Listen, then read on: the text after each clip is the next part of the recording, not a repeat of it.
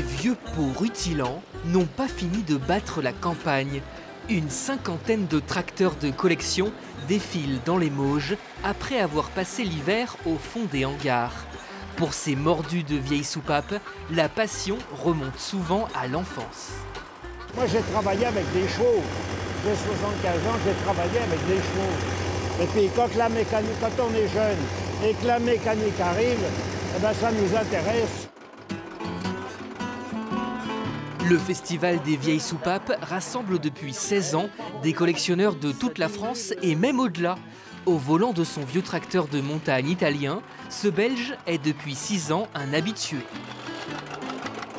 J'ai rencontré des gens très intéressants, euh, de la Belgique en plus, euh, de la France, du Luxembourg, voilà.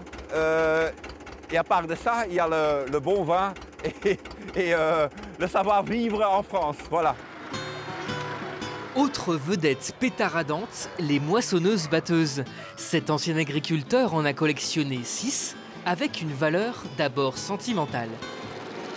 Une moissonneuse comme ça, ça vaut peut-être 1000 euros, ça vaut pas cher, mais bon, bah, c'est juste euh, de te sauver, que ça continue à tourner et puis qu'on montre aux jeunes avec quoi on travaillait autrefois.